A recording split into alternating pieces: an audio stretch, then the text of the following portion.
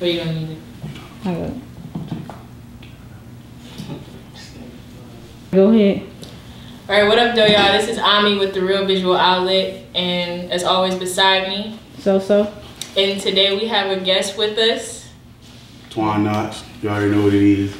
Blow the game.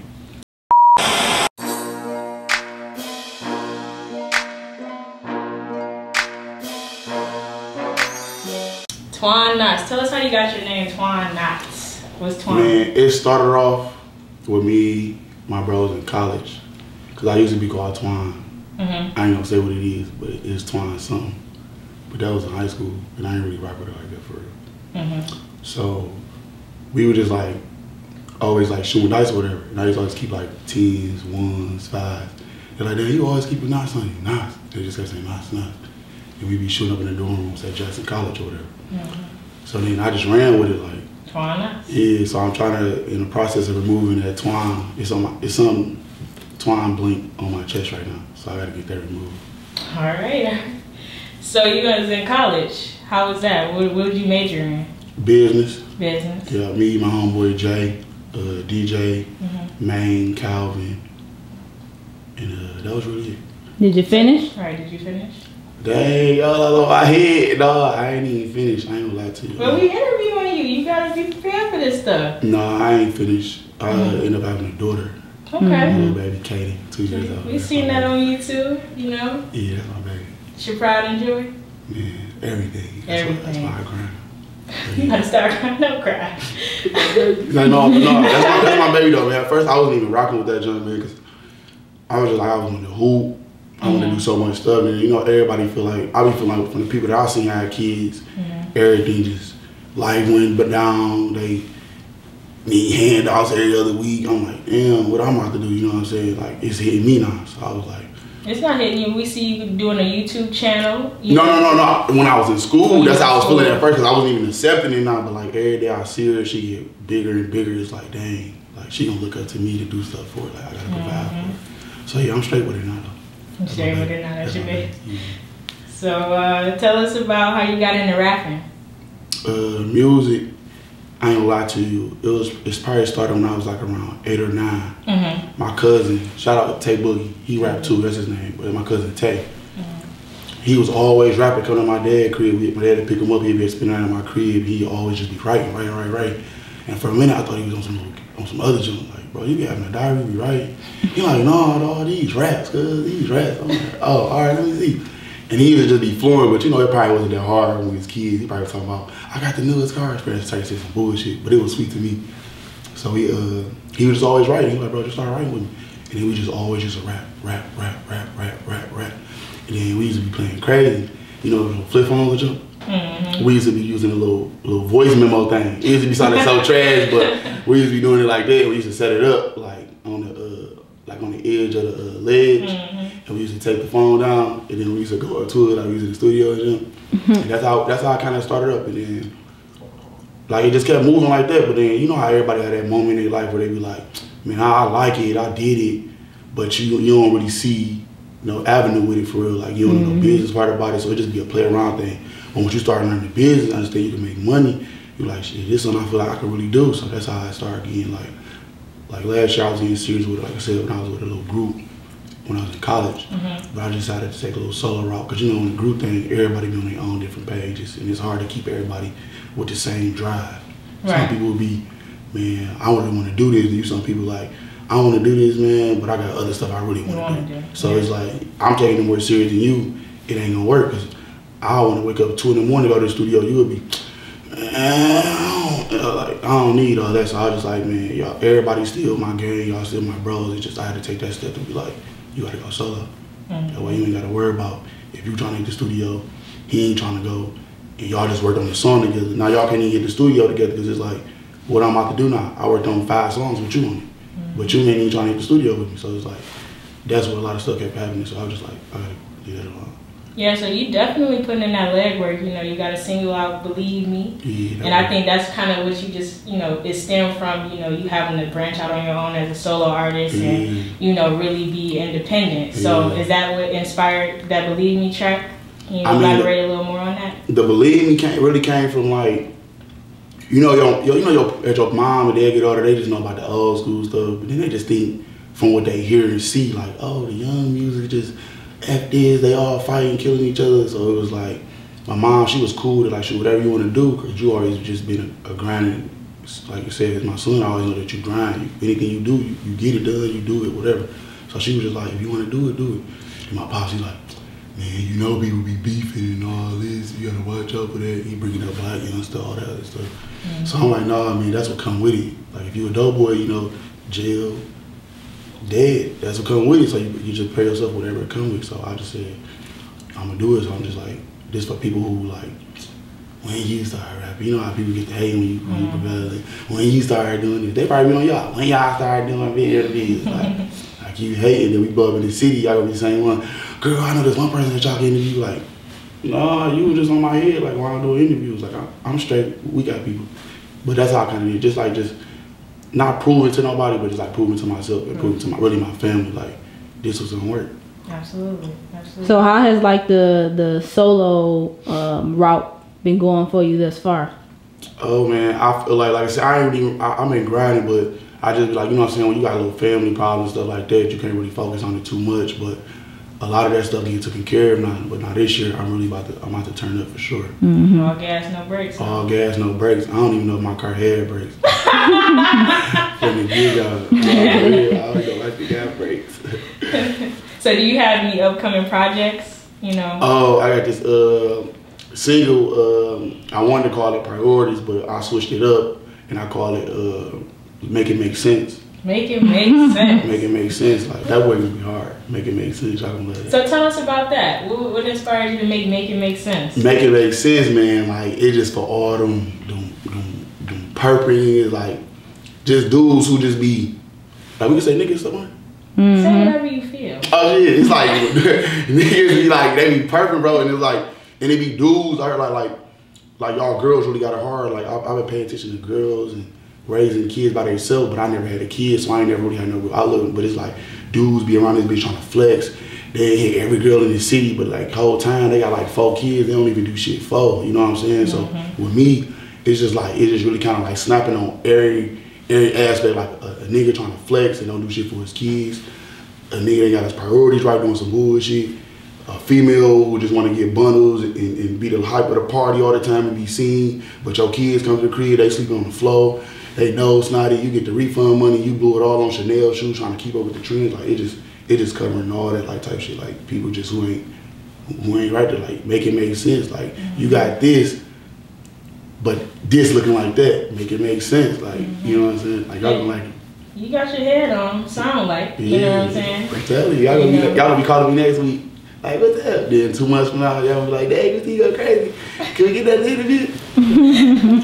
Do you think your do you think having your daughter change your outlook on things, or have you kind of always been that way? No, I always had the ground, but like far just like Responsibility and all yeah, that. and, and a girl, and like like as far as like how I treat females, like, cause like I said, I don't I don't had a lot of females like that and been that held me down, been real for me, but I just I ain't gonna lie to you, I done did them both. I'm talking about like both. What's something you done Right, did? what's something What's something you you done done did? Dad, y'all try to soul me, Jay. Yeah. Try to. You don't You don't- have you to don't say gotta no put no names. names, You but- just tell Alright, the experience and you, you tell them you sorry at the end too.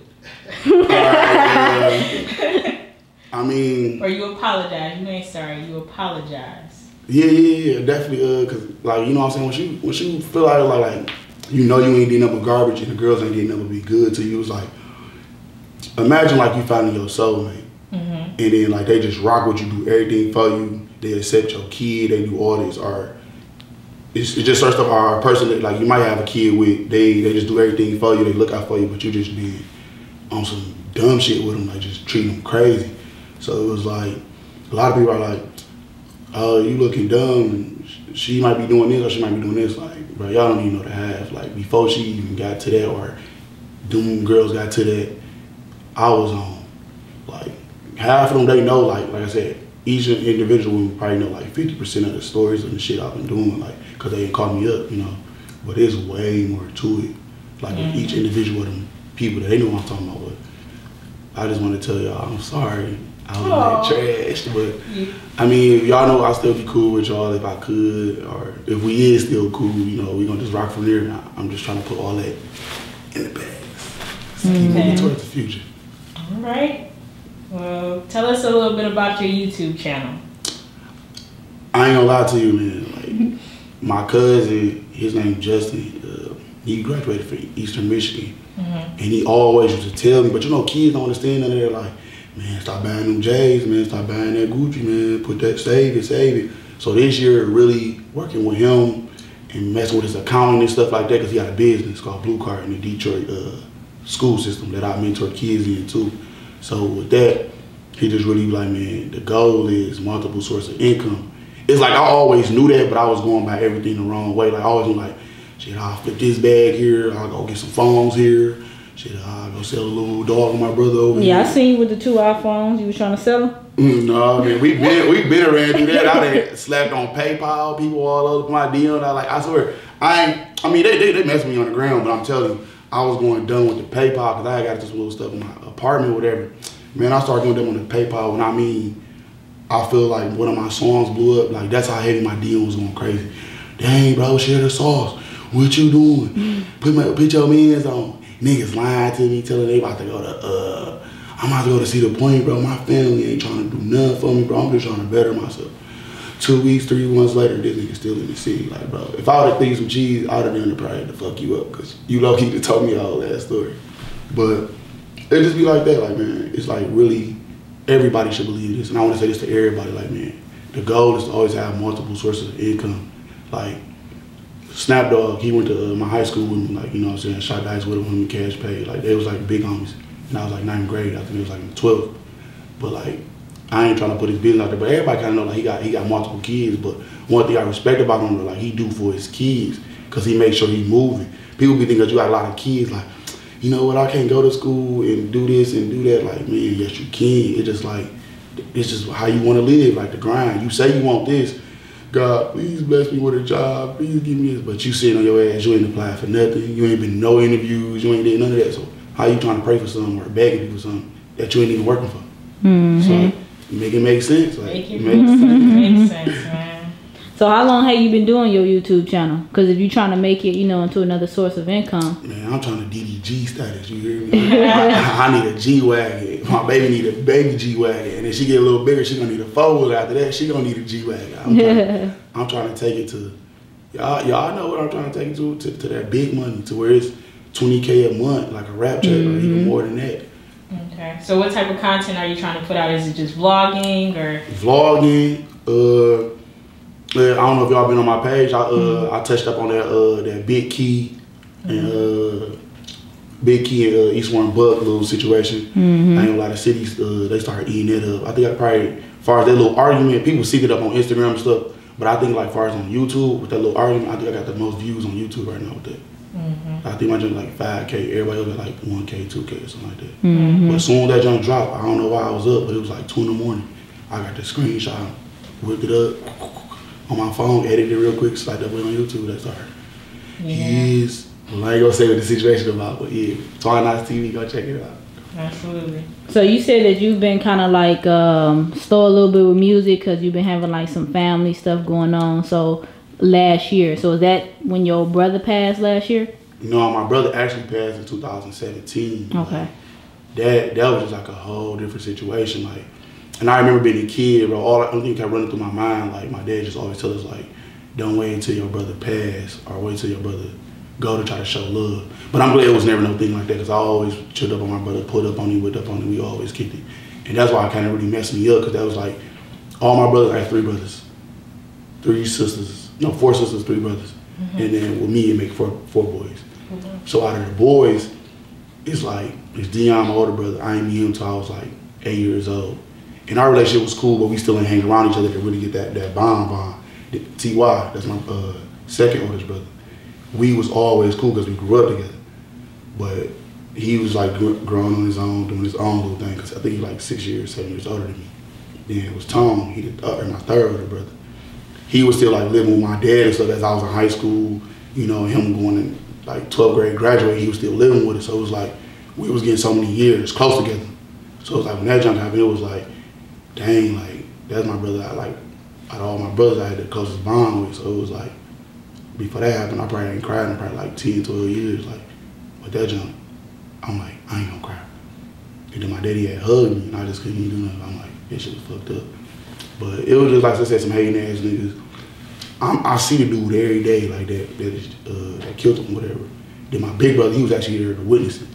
So I always check up on him, see how he feel, because I don't even know how that'd feel if I would have seen it. Nightmares started turning in my sleep, I don't know. But yeah, that's what happened with, happened with that situation. But uh, he was always the person that always told me, like, man, rap. And he used to try to rap, I tried to push him towards it, but he was always like, nah, man, you got it, you do the rap. Bro, that's you, you got the personality, you got the swag, do it, that's you. So I, I gotta keep going with it for my bro, RP Tom, I gotta keep going.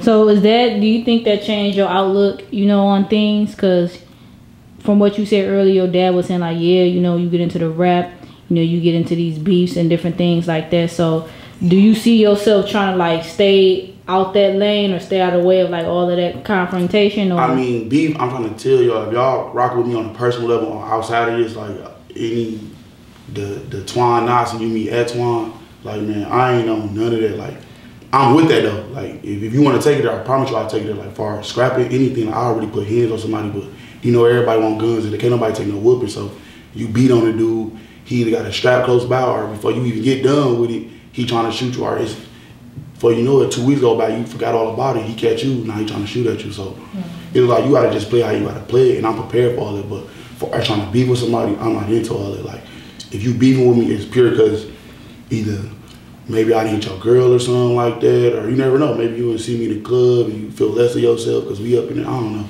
but it gotta be something that don't mean shit for real. Like I never be on nobody DM. Nigga, you supposed to be doing this. I'm doing this. Nigga, fuck it ain't even that. But if some beef come my way, it got to be somebody who started it first. Hmm. I don't even move like that. So we seen that you you freestyle. I mean, sometimes I don't really freestyle. It just be it just be like I don't know how to catch it. It's just like the vibe. Like if I'm like feeling that way, I just try to get up on it. You trying to do something right now? Fuck flex. what y'all want to hear? I don't know if I got a real bar to say right now, but no, what y'all what y'all want to hear? Whatever you got on your mind, it's freestyle. What's up? Uh, yeah, y'all ready? All right.